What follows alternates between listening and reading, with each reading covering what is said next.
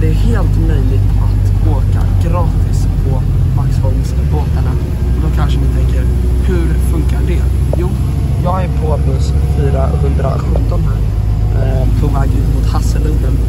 Och jag har blippat på med mitt SL-kort. Eh, och eh, när jag kommer ombord på Vaxholmsbåten så kommer det inte kosta mig en enda krona. Eh, jag ska visa hur det funkar när vi kommer till Hasseludden är nu är framme i ett eh, snöfyllt Hasseludden. För att det här kortet som jag har, det är ju ett grönt SL-kort som jag precis har åkt med den där bussen med. Eh, men jag kan också åka med Vaxholmsbåtarna. Eh, och det är på grund av att nu när det är eh, höst och vinterperiod så är det inte lika många som åker med Vaxholmsbolaget för att skärgårdstrafiken är störst under sommaren när det är varmt. Eh, så då har Vaxholmsbolaget och SL samarbetat vilket gör att du kan åka gratis på deras Vaxholmsbåtar. Men det finns en regel. Den enda regeln som finns är att om du har ett sånt här kort kan det inte vara reskassabiljett, utan det måste vara ett periodskort.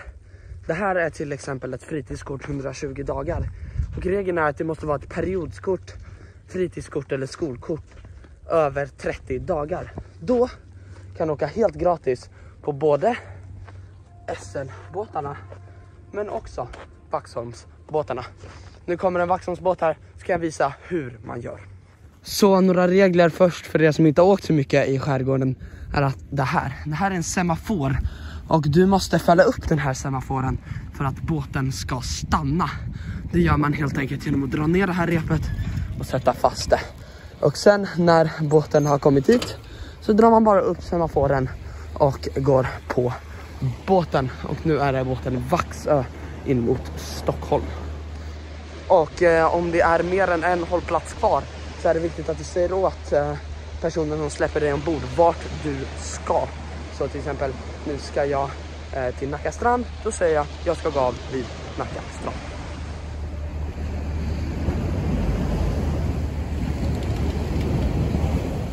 Utanför Nacka strand. Och väl på eh, Vaxholmsbåtarna så finns det väldigt sköna och bekväma säten, stora fönster, ladduttag, wifi och till och med ett café. Och du undrar kanske ni hur betalar man när man väl ska gå av? Och det är bara att göra så här.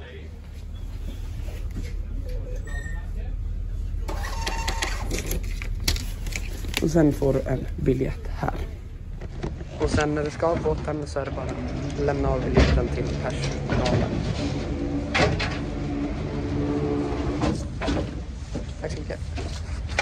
Allt det är så man åker gratis med en Vaxholmsbåt. Eh, Kom ihåg också att man måste ha en periodbiljett över 30 dagar annars kommer det ju inte funka. Eh, annars måste man betala, ja, det är ganska dyrt, ungefär 200 kronor om man ska åka långt. Så eh, det är en riktigt bra deal här. Eh, så ut nu under vinter, höst, vårperioden. Eh, jag tror det är mellan september och mars, april. Så ut och åk med Vaxholmsbåtarna för 0 kronor om du har en periodbiljett. Tack för att ni tittade. Ha det så bra och hej då.